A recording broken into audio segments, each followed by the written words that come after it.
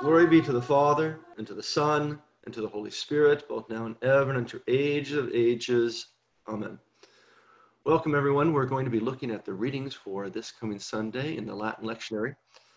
Please turn with me to Genesis chapter 12. Genesis chapter 12.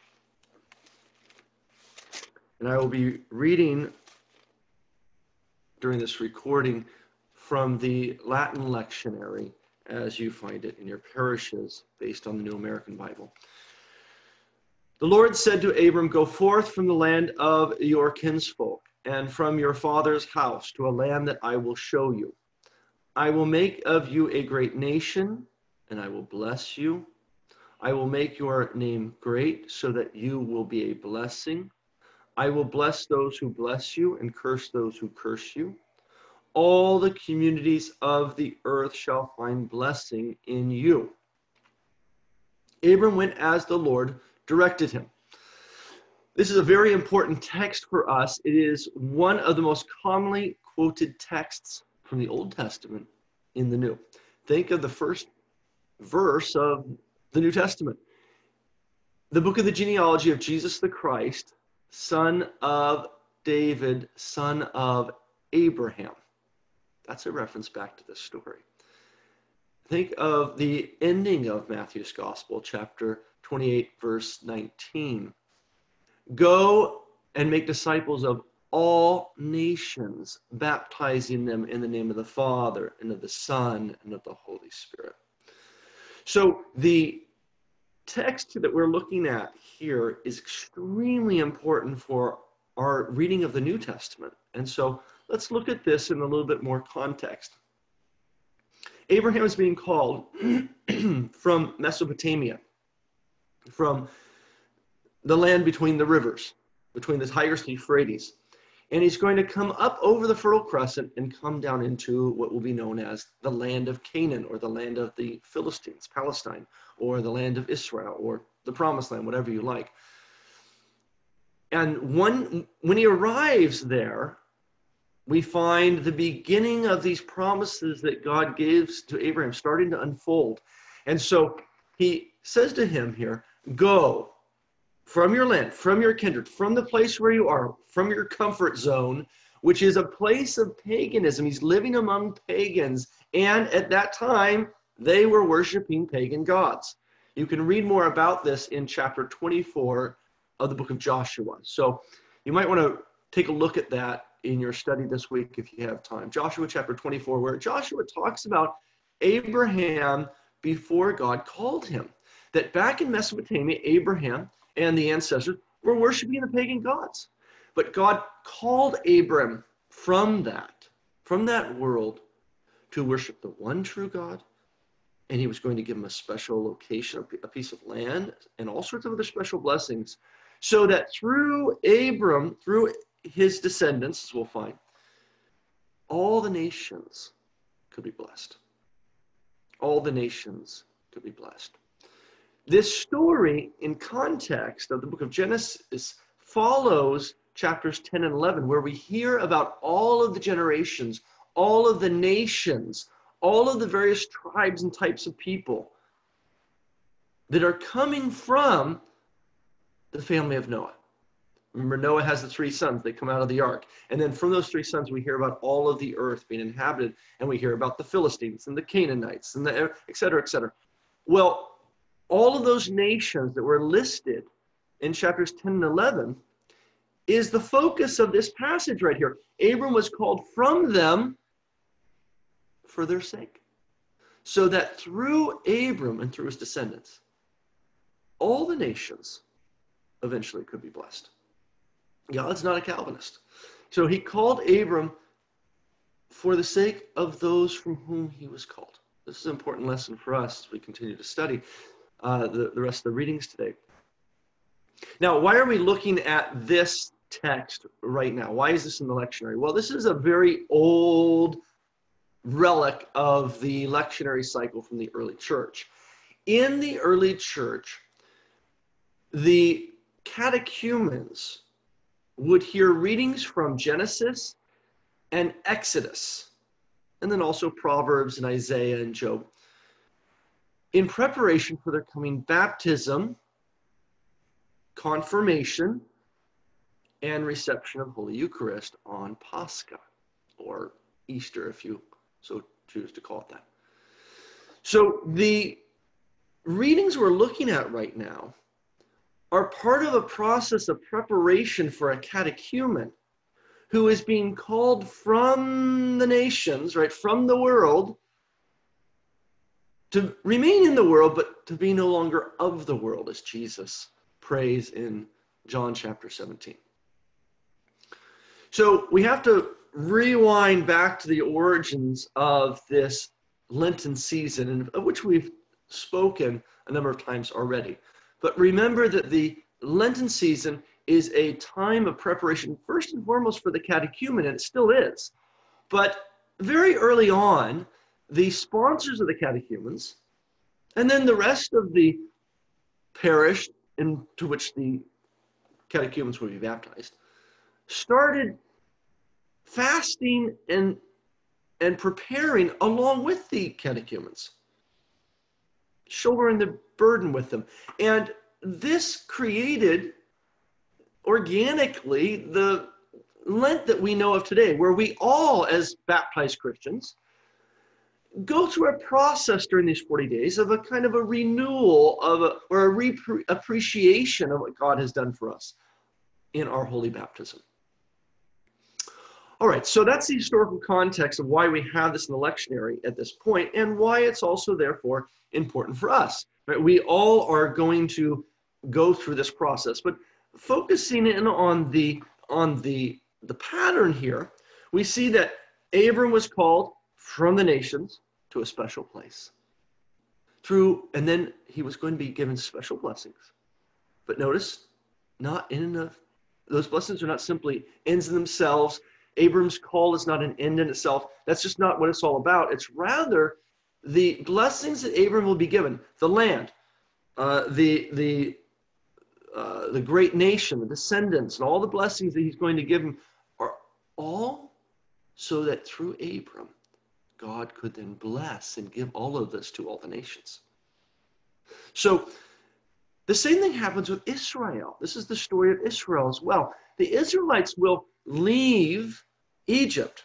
Right? That after after a while, at the end of the book of Genesis, we find that all the work God had done with Abram and, and, and his descendants has been undone. They end up back in a pagan nation again, just like Abram in Mesopotamia. Abram's descendants, Abraham's descendants, the people of Israel, the 12 tribes, are now in Egypt, a pagan land, and they're there for 400 years. They're eating like Egyptians, walking like Egyptians, talking like Egyptians, and worshiping like Egyptians. And so now we've got a problem again. God has to renew the call of Abraham in a certain sense, renew that purpose of the descents of Abram. So the story of Abram is in the book of Genesis, where Moses is the primary author of this text of Genesis, and Moses is the one at the time of the Exodus. This is that God is using to, to bring about this great blessing and renewal of that call through the descents of Abram. So so Moses tells the story of Abram catechetically in a way that will help the Israelites in the Exodus understand what's going on in their life. So the Israelites are brought to Mount Sinai and given the special information, the, the law, and, and given an opportunity to renew that covenant with Abram and reyoke themselves to the one true God, so that through them God could use them to be a blessing mm. to all the nations. We hear about this when they arrive at Sinai in chapter 19 of Exodus. God says, You are a holy nation, a holy nation, set apart. A holy nation, kadosh in Hebrew means set apart, distinct, different. But God sets things apart from other things for a purpose, not just for the sake of setting them apart, right? He, he sanctifies the Sabbath in the Old Testament for them as an opportunity for them to rest so that they can then meditate upon the creator who gave them all of the blessings they have, right? So it's not just simply setting something apart for the sake of it being set apart. No, it's being set apart for a purpose, right? And so the same thing happens in the story of the Israelites as with Abram. The Israelites are brought to Mount Sinai, and God says to them, You are a holy nation that is set apart from all the rest of the nations. You shall be to me a priestly people. That's the purpose then. So they're set apart from the nations for what purpose? They're called from the paganism of Egypt, like Abram was called from all that world and from the nations, so that God could give them that land he promised to Abram, so that they could be, in a certain sense, the beaches of Normandy, right? The beginning of the restoration of all the nations. The great war for God's God's family is is going to begin. God is going to fight to get his children back. And his children are not, it's not just Israel, but all those nations. He wants them all back. All the descendants of Adam. He wants them all back. And so, so he's he calls Israel to this calling again, this, this call of Abram. Israel receives and is renewed. They come to Mount Sinai, and they're to be not only different from the nations, but a priestly nation. What's a priestly nation? Priestly means that they are going to be a priest has two roles. It's their they are the mediatorial individual in a relationship between two others. So we have God, and then you have the people, and then you have the priests. And this is in any culture, this is in any religion, you've got some sort of a mediatorial role like this. This is what God uses that language there. He says, You, O Israel, will be like a priest among the nations. So they're called to this special job, but they, they, they obviously now have a job to do. What is that? Well, the priest's job is to pray to God for those that are not the priests, pray for the rest, right? And then speak to those that are not the priest in the name of the God. So they're the, the point of communication. So Israel was called from the nations. They were made up to be a priestly nation. That was their job. That is to go to be the go-between between God and the nations that were not yet in a covenantal relationship. So that they could pray to God that those nations would someday come into the, a relationship with God like they have. And that God would bestow upon them his blessings and they would speak to the nations then about God's blessings and his plans for them. They would preach to the nations about the one true God. That was their calling. They never really did it, of course, you know. And they, as Stephen says just before the Jews killed him in Acts 7, you received the laws delivered by angels, but did not keep it. Right? As soon as Moses goes back up the mountain, then they build the golden calf and start worshiping a god of, of Egypt. And then that, of course, in many ways, is just a summary of, of what's going to happen to the history of the people of Israel. God called Israel and brought them forth, as he says, out of, out of Egypt on eagle's wings, right, with great speed. But it's going to take the rest of the Old Testament to take Egypt out of Israel. Okay, so that's important for us. This is important for us because we're looking at this text not only for Abram, for the, and remembering the story of Abram, remembering the story of, of Israel, but remembering that this is for the catechumen. And in the end, it's really for all of us, right? Uh, We can, we are called like the catechumen, like Abram, like Israel, to, from this world.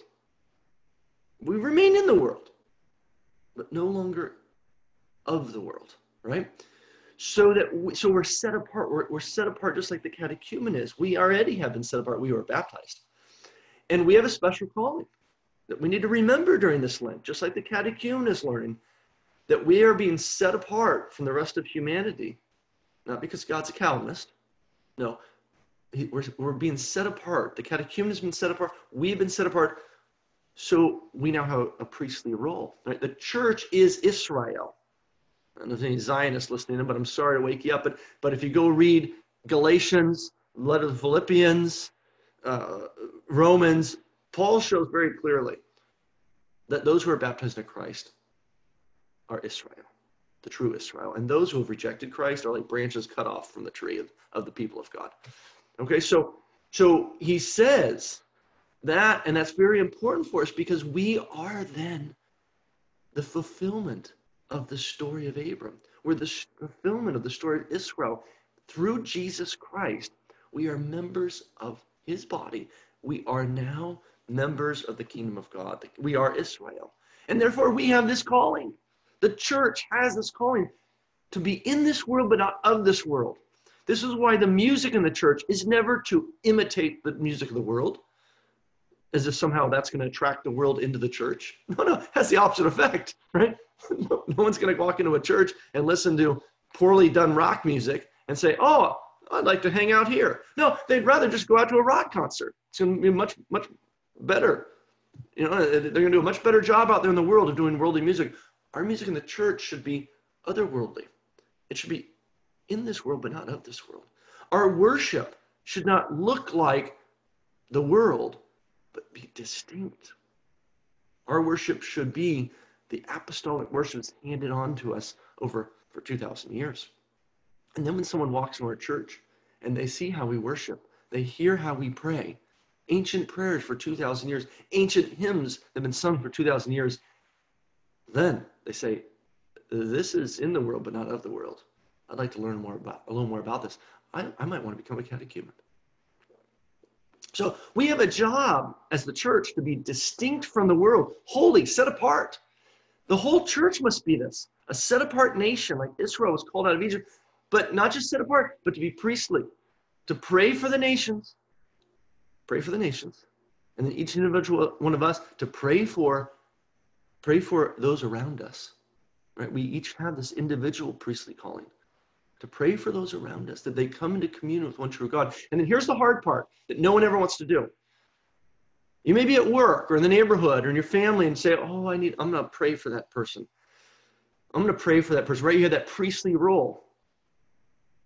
And that's good. But here's the part that no one ever wants to do. This is the one that takes courage, and with it often comes persecution. Is to speak to the nations, or that is to speak to those around us in the name of God to speak to someone and tell them, hey, you can't do that.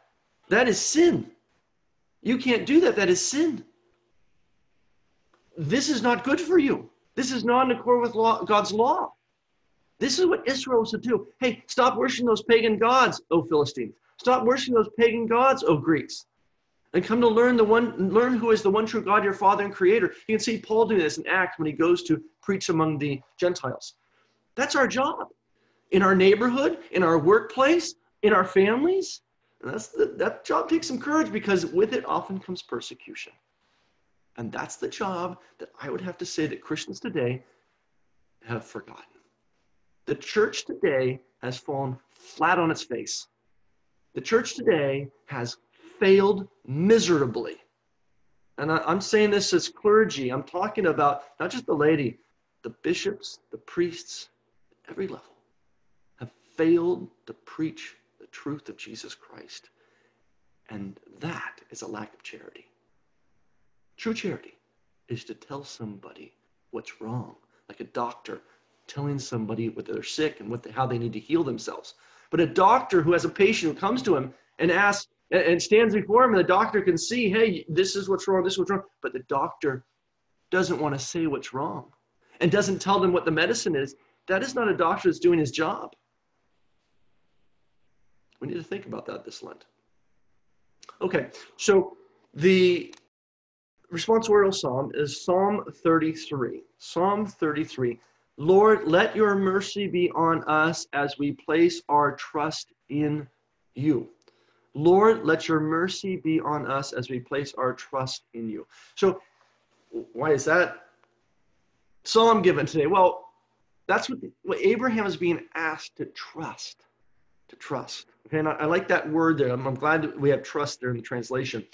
Some of the translations here in the New American are not that great, but like for example, uh, so that all the communities might be blessed. It's not really what it says.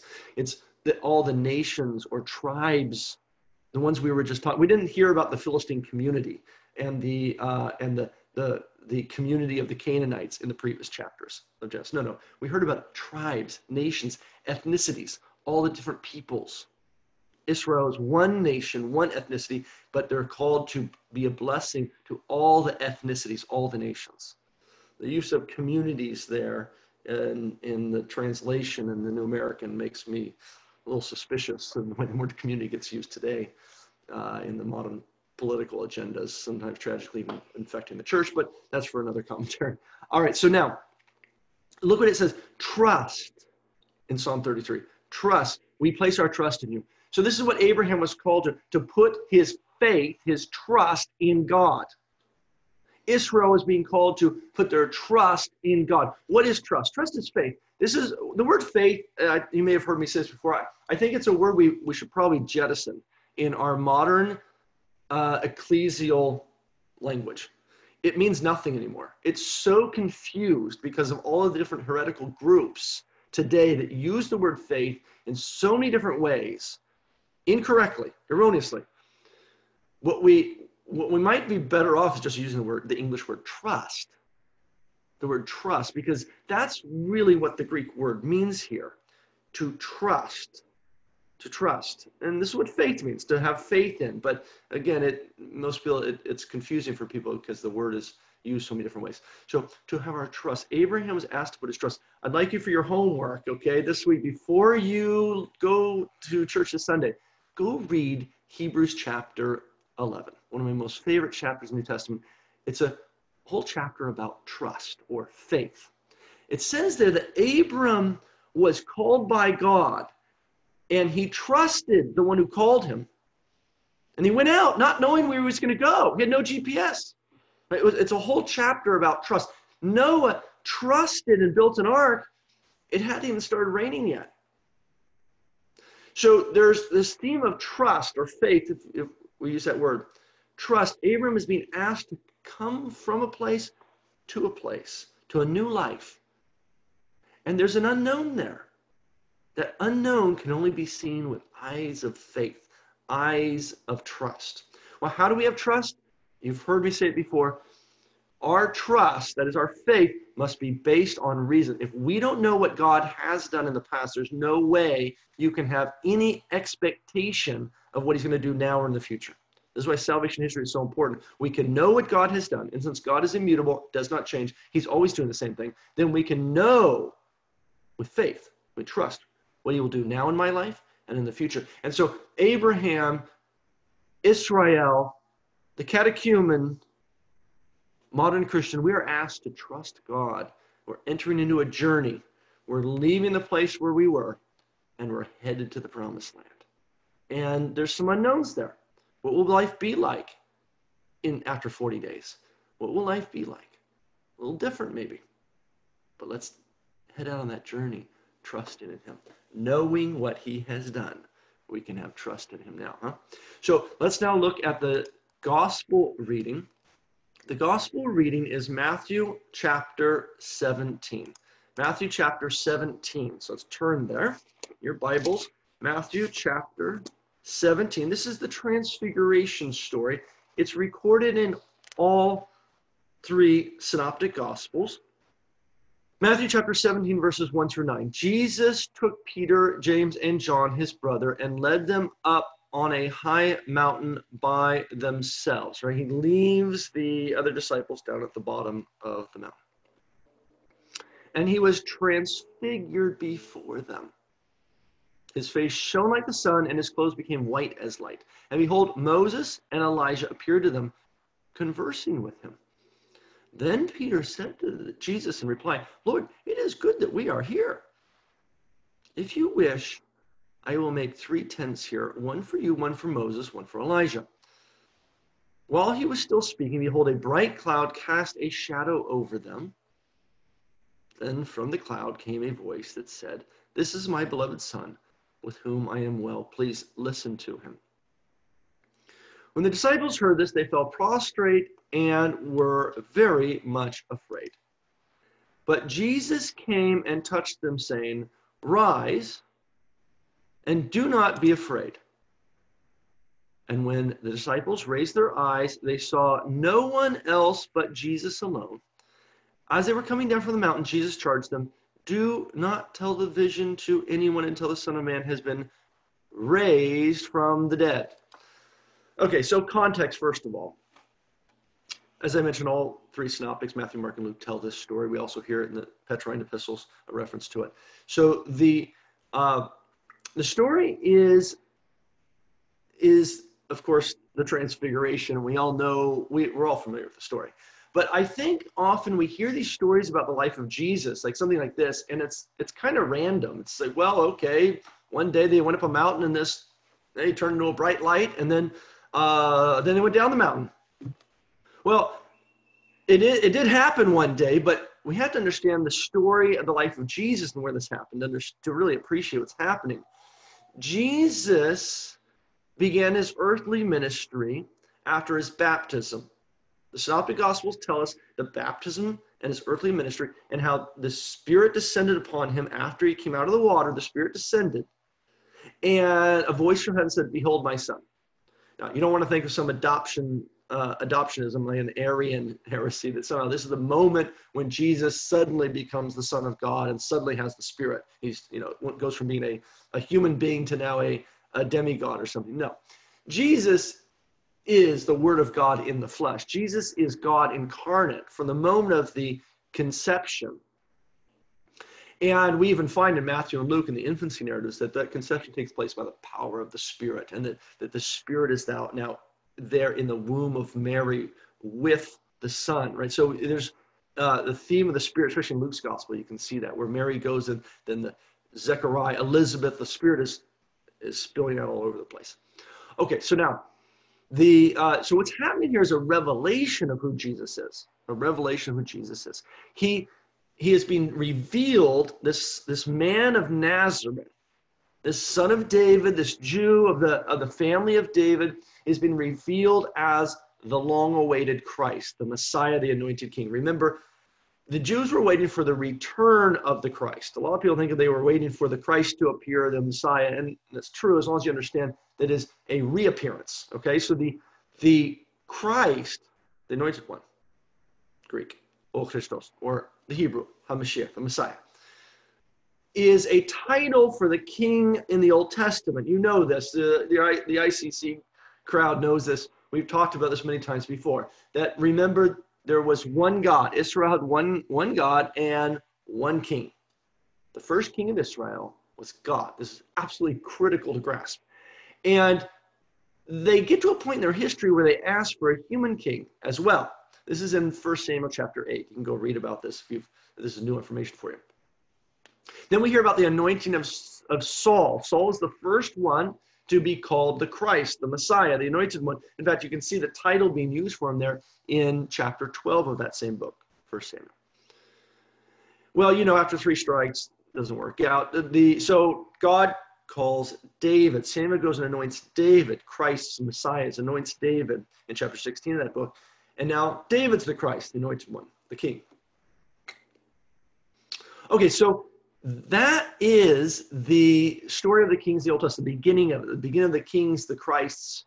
There are two kings. There's the divine king, and then now a human king who has a title of the Christ. He will also have the title Son of God because the dynasty of David is given a special promise. This is in 2 Samuel chapter 7, so a whole book later. God promises to David that his dynasty, his descendants will be the only ones that have the right to sit on the throne in Jerusalem, to represent him his kingship.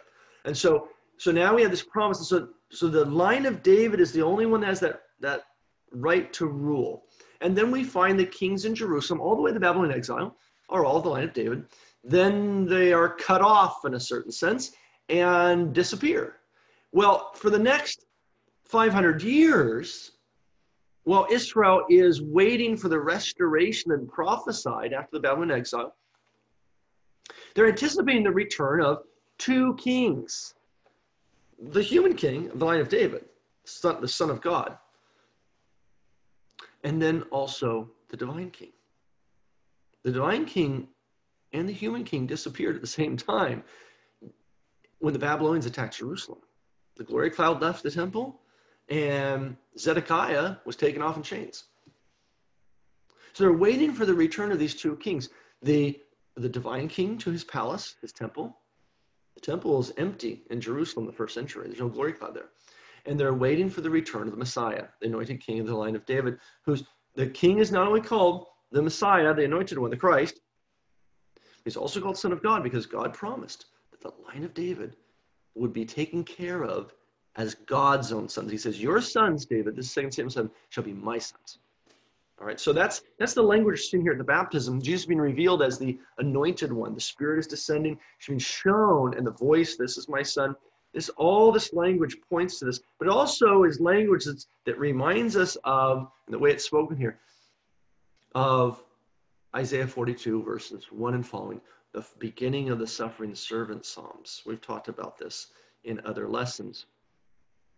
So it reminds us of what's coming. The baptism story is foreshadowing something that's to come. Not only is Jesus be revealed as this, this Christ, but we already have a hint there in that baptism story that he's also going to be suffering.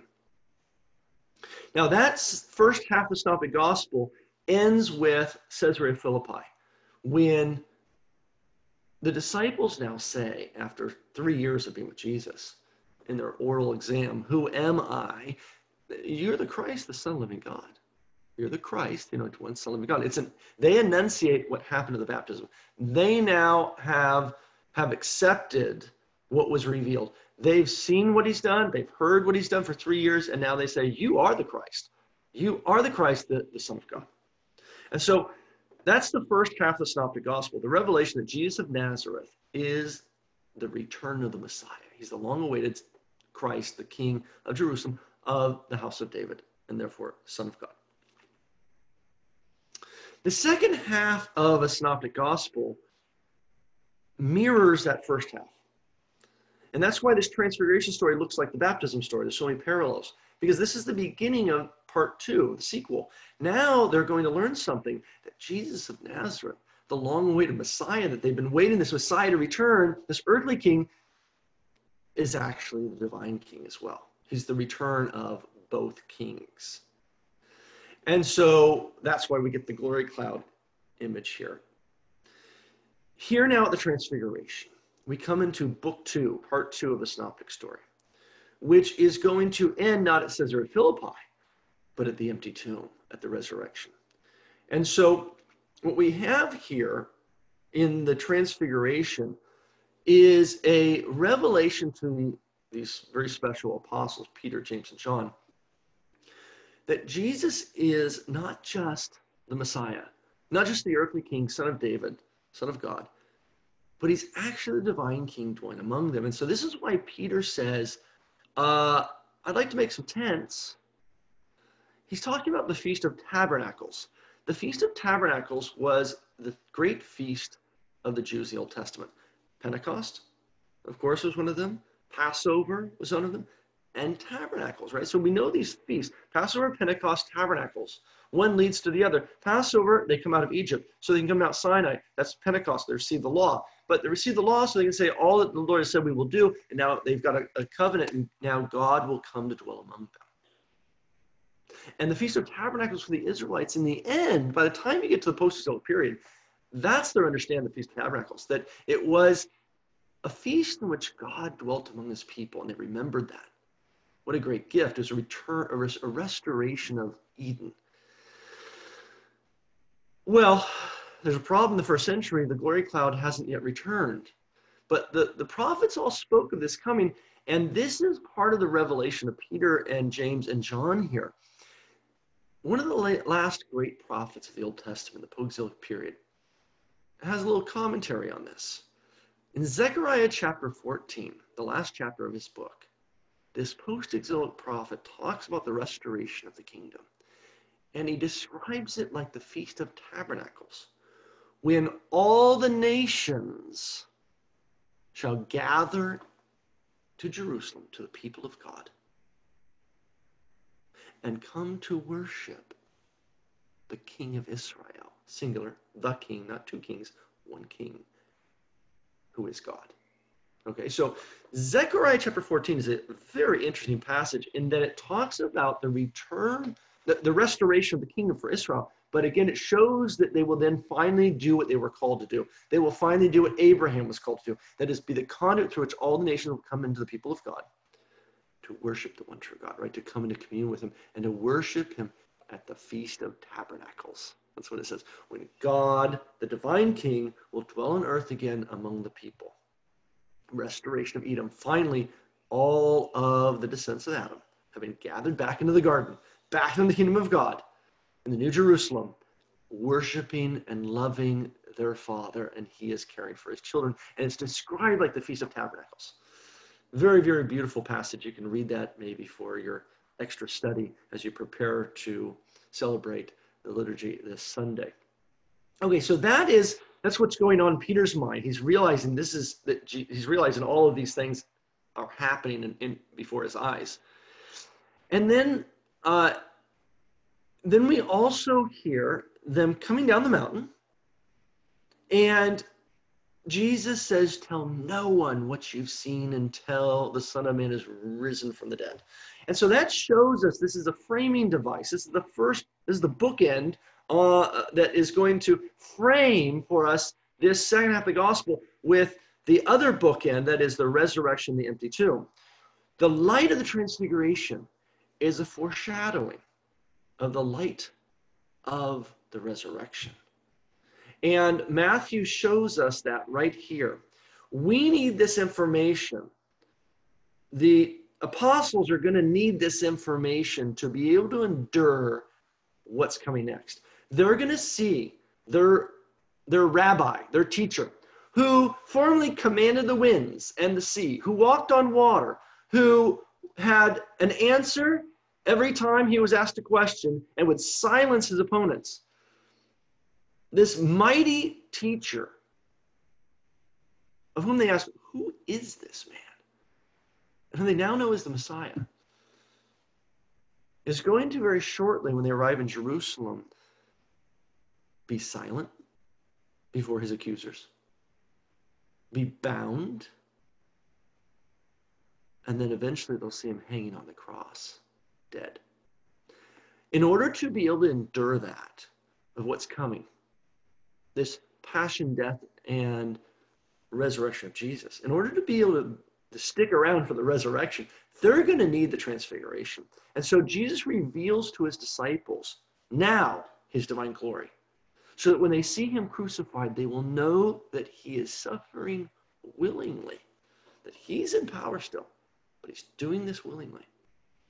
And so that's the, the uh, context of the, uh, of the story in the, in the gospel. But why are we reading this right now? Well, this is what's happening for the catechumen. The catechumen, and we who are beginning this journey, this 40 day journey, are heading to Jerusalem. We're going to head with Jesus to Jerusalem. We're going to see him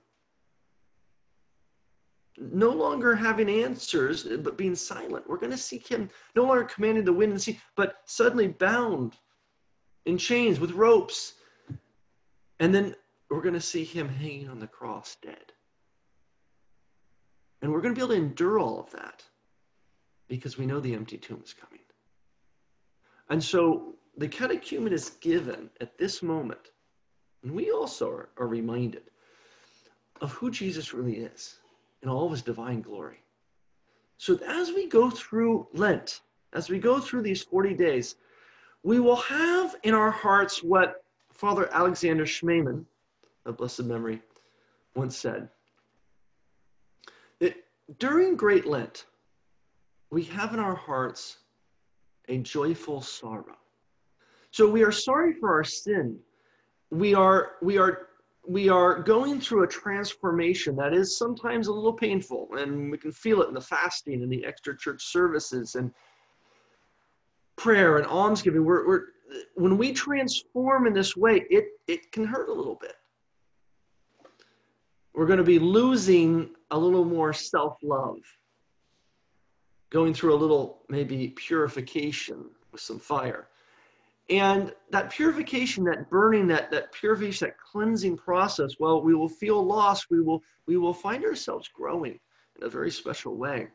And so we have a, a joyful sorrow, right? Always with the sorrow of our sin, with the sorrow and the and the and the that feeling of loss, that that change that we're going for, that purification, we have a joy, a light in our hearts.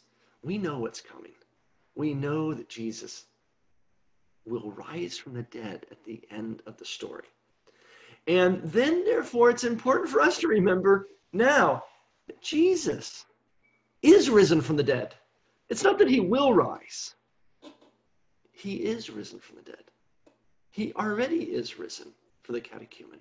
He already is risen. In the story of the gospel, he's not yet risen. But we are 2,000 years later experiencing the fruit of that gospel, the fruit of the good news, the fruit of the empty tomb. We have become participants in the resurrected Lord through our baptism, confirmation, and reception of the Holy Eucharist. We are a member of his risen body. And so we can have joy as we're going through Lent, that joyful sorrow. As we behold, as again, as Schmemann, Father Schmemann says, we can behold the resurrection like the light on the horizon.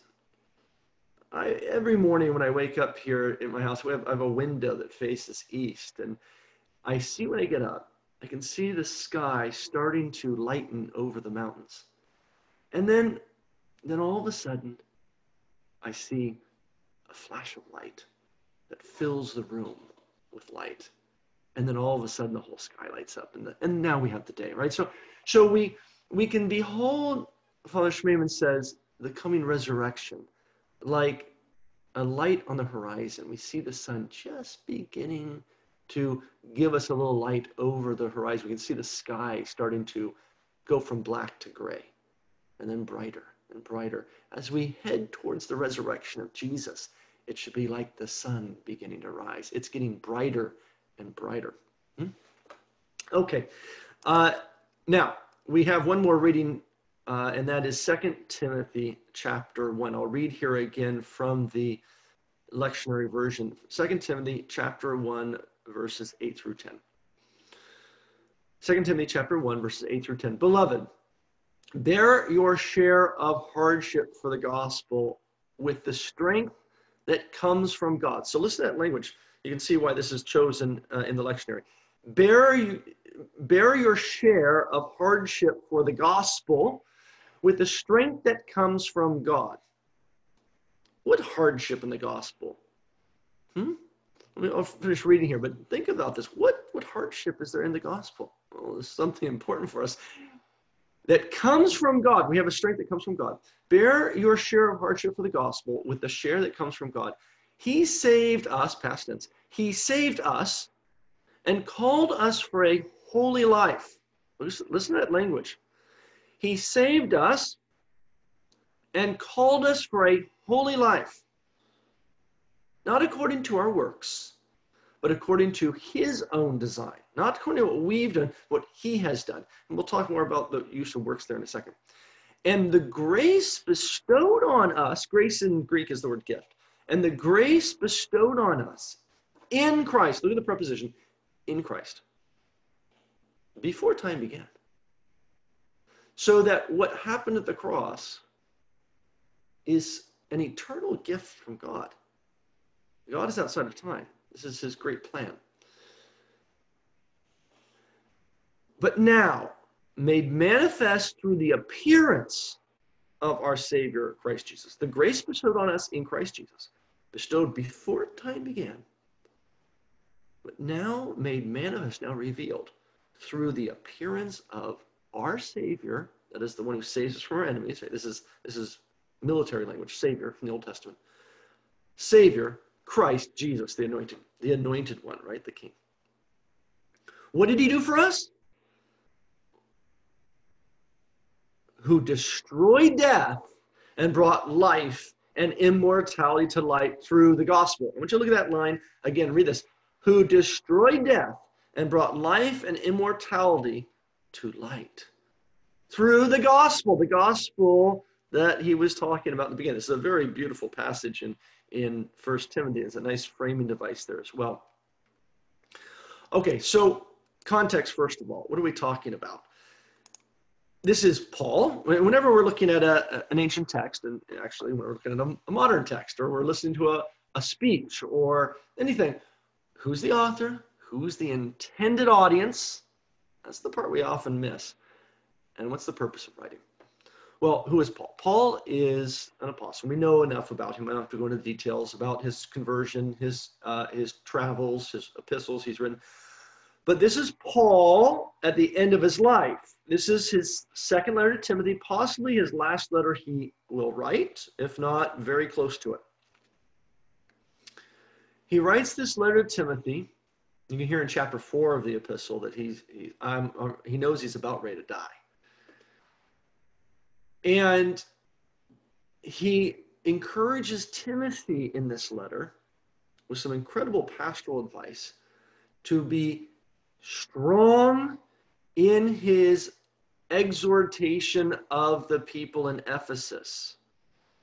He encourages Timothy. Timothy's a young man, and he Paul knows that Timothy has sometimes been a little meek a little uh, maybe timid in his preaching of the gospel. You can hear this throughout the two epistles Paul writes to him. He says to him in chapter uh, chapter four of Second Timothy, "Preach the word, Timothy. Let's preach the gospel of Jesus Christ. Be uh, be strong." He tells uh, it'd be good to read maybe this week to go read uh, maybe the whole epistle, maybe First and Second Timothy. But if you have limited time, at least chapter four of Second Timothy. Paul is encouraging Timothy to be strong and bearing up the hardship of the gospel. What's that hardship of the gospel? Well, it's the same hardship that Abraham endured. It's the same hardship that Israel endured.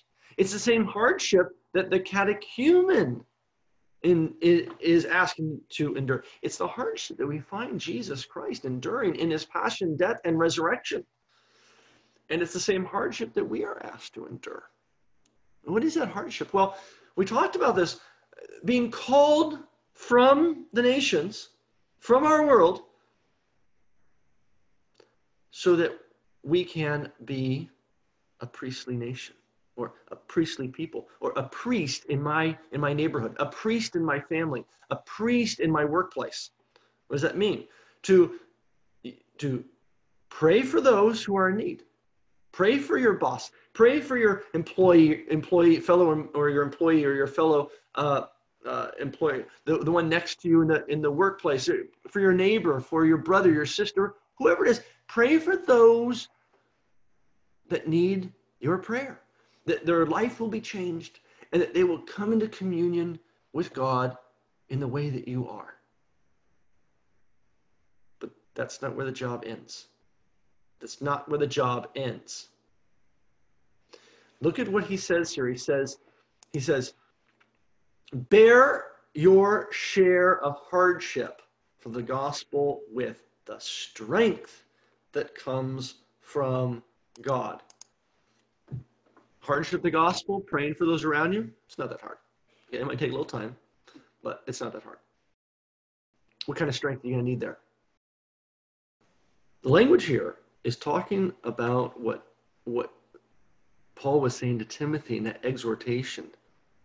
We, our job, it's not just Timothy's job, our job also is to preach the gospel, to preach the truth of the gospel the truth of the gospel, which, as I said, Christians today just don't want to do anymore, even the clergy. Very rare you hear the gospel preached from a pulpit, pulpit anymore. Very rare you hear a bishop preach the truth of the gospel. The church has fallen flat on its face in the modern culture. It has now become like the nations. The priests, the bishops, even the laity now talk and walk like the nations, like Israel had become in Egypt. we fail to do our job. We are to bear the hardship for the gospel with the strength that comes from God.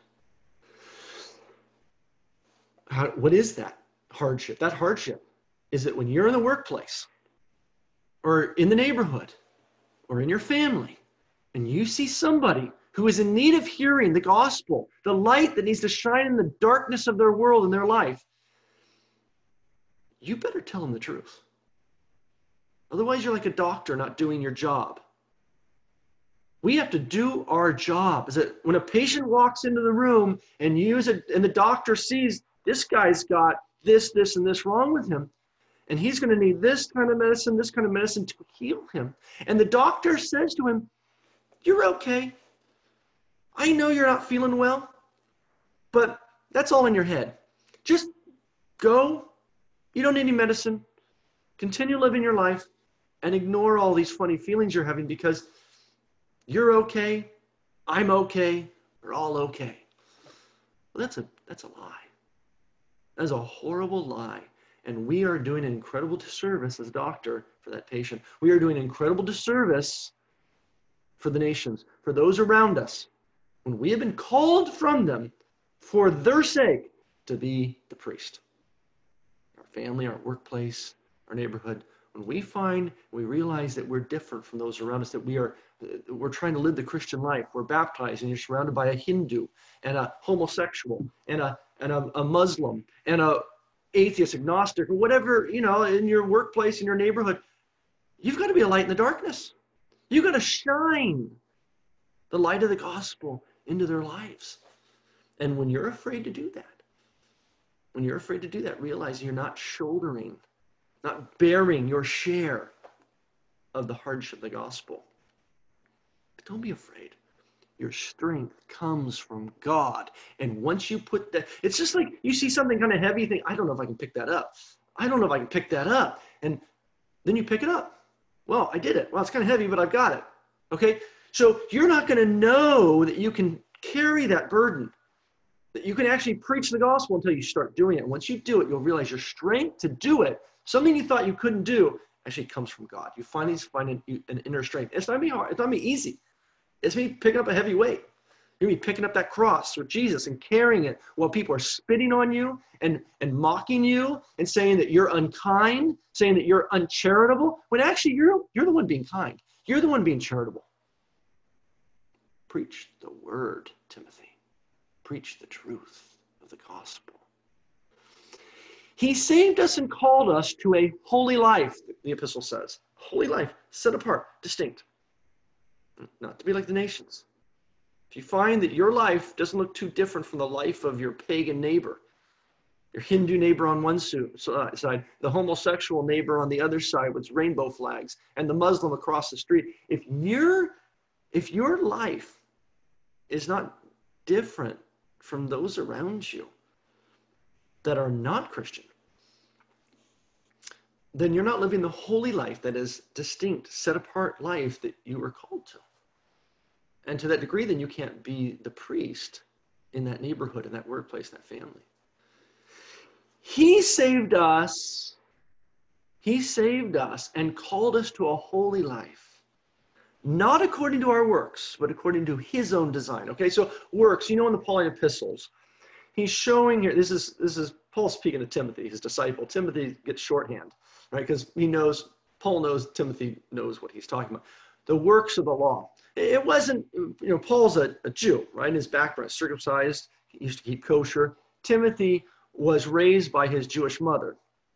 So he's speaking to Timothy about this. It wasn't our Jewish background, it wasn't our works, it wasn't the law and keeping the law of Moses, circumcision, kosher laws. You can read about this in the Judaizer heresy that was often floated around the first century, uh, and when the church tried to confront it in um, in Acts, 4, uh, Acts 15. The uh, his, it wasn't because of our circumcision, keeping kosher, and no, no, no, no, no. God didn't do it was his design from the beginning, right? Long before there was circumcision, kosher laws, his design from the Garden of Eden. And the grace bestowed, that gift bestowed on us in Christ Jesus, the anointed Christ, right? Old, this Old Testament references the works of the law, uh, but no, no, saved by Jesus the Christ, the anointed King, before time began. This is part of God's plan from the beginning. Look what He's been doing, His plan from the Garden of Eden. But now made manifest, but now made manifest through the appearance of our Savior, the one who saves us from not only our sin, but our death, right? The Savior in the Old Testament, this is the title for the king in the Old Testament. They saved you from your enemies roundabout. You can go read about this in, uh, in 1 Samuel chapter 10, Saul's job. You will say, you will rule over people and save them from their enemies round about. And he says, he says, Christ Jesus. That's the anointed king. That's his job. He's going to save us from our enemies round about. Well, what is our enemy? What's our enemy? A lot of times we would think our enemy is sin. That's true. Our enemy is sin. What is sin? Again, it's not breaking a rule, but it's breaking a relationship. God makes rules to help us help us stay out of situations, to not do things that will cause a break in our relationship with him. Parents give rules to their children so that they will not hurt their relationship with them. That will not hurt their, their life. When they break the rule, the problem is the action that the rule was preventing them from trying to break, right? So this so God God wants us to avoid sin because sin is actions which we turn away from him. They're contrary to his way. When we walk contrary to him, we, we separate ourselves from him. And without him, we cannot have life. So Jesus has come to conquer our enemies, save us from our enemies roundabout. Right? He shall be called Jesus, for he will save his people from their sin. We hear that in Matthew chapter 1. Well, why is sin this great enemy? Sin brings death. When we separate ourselves from God, we don't find life, His life, we find death instead. And so there's, there's a very important relationship we have to understand between the action we call sin and the fruit of sin that is death. And often today we don't we don't think about that because we're most Christians are dualists, right? For us, death is actually uh, the end. That's the that's the end of this world, and then we we fly off into the clouds in our spirit form to go be with God for all eternity in fluffy clouds and play the harp with angels and whatever people have in their minds. Well, if we do die before Christ returns, yes, we do go to be with the Lord, as St. Paul says. But that's a temporary state. We are disembodied at that point. We our salvation is not complete. What Jesus did when he saved us is not done until we have been raised from the dead. And this is why he says, look at the last line there, who destroyed death and brought life and immortality to light through the gospel. Okay, so this is what the catechumen needs to hear. This is the good news that we need to be preaching. The good news is that Jesus has conquered death. He has risen from the dead, and we can be too. Well, how are we going to be raised from the dead? Paul says very clearly, and Paul's assuming of Timothy knowledge of Paul, Pauline teaching, right? in chapter 6 of the book of Romans, Epistle of Romans, he says, All of you have been baptized into Christ, have died with him and buried with him and raised with him in newness of life. We have been buried with him in a death like his, so that we might rise with him in a resurrection like his. Jesus came to conquer sin and death. These aren't two independent subjects. He came to conquer sin, to give us the Spirit so that we could have the power to repent, that is, re, be restored spiritually to God, so that we could be restored physically to God at the end of time. As Adam died that day in the garden when he failed to trust God, failed to trust his word. That spiritual death we can see in the garden when he goes to hide himself from God. He's afraid he's naked, right? The relationship broken between Adam and God, and then also between man and fellow man, right? man and woman there, Adam and Eve, are hiding each other, hiding from each other. So their relationship has been broken, a lack of trust in God's word. And that spiritual death that took place eventually resulted in a physical death when Adam died. And so, we who are descended from Adam, who have received his nature, we all have received a yoke, a, a, a, a nature that is yoked to sin and death. But, as St. Paul says in his seventh chapter of the Epistle Romans, who will save me from this body of death? Jesus Christ will, right? He says, we are, we are already who have been baptized to Christ. We are sons of God, walking according to the Spirit, crying, Abba, Father. while we wait. while we wait in yearning. This is in chapter 8 of Romans. Along with all of the creation, we wait in yearning for the full restoration when he will come again, right? When our bodies will even be adopted as sons. That is, when our bodies will also be raised from the dead. And that is the purpose of the coming baptism, laying on of hands, and reception of Holy Eucharist for the catechumen. The catechumen in 40 days will be baptized, will have received the laying on of hands, and receive the Holy Eucharist. In baptism, the catechumen will be brought forth, not from the waters of the old creation like Adam was, but now from the waters of the Jordan, of the new creation. The catechumen will then receive the breath of life breathed into his nostrils, just like Adam did that moment through the laying on of hands in chrismation or confirmation, the gift of the Spirit. And then the catechumen, a new creation, will be welcomed into the garden, just like Adam was that moment, shown the trees of the garden and say, Here's the tree of life. And the catechumen then eats of the fruit of the tree of life, drinks its juice, of which Jesus says, He who eats my flesh and drinks my blood has life in him, and I will raise him up on the last day. That's the point of our baptism, so that we could receive confirmation. That's the point of confirmation, so that we could receive Holy Communion, the Holy Eucharist. And we receive the Holy Eucharist, so as Jesus says, we could be raised in the flesh. This is why it's so important to understand that the real presence of the Eucharist. Because without it, we will not be raised in the flesh at the end of time to a resurrection life. That is critical for the catechumen, critical for us. As we go through these 40 days of the great fast of Lent and this time of purification, to remember the story of Abraham, the story of Israel, the story of Jesus, the story of the catechumens of the early church, the catechumens today, and our own story today. We need to look through this lens of salvation history so that we can know what God's doing in our life these 40 days and what he will do at the end of them. Glory be to Jesus Christ with his eternal Father, his all holy, good, and life giving Spirit, both now and ever, and to age of ages. Patris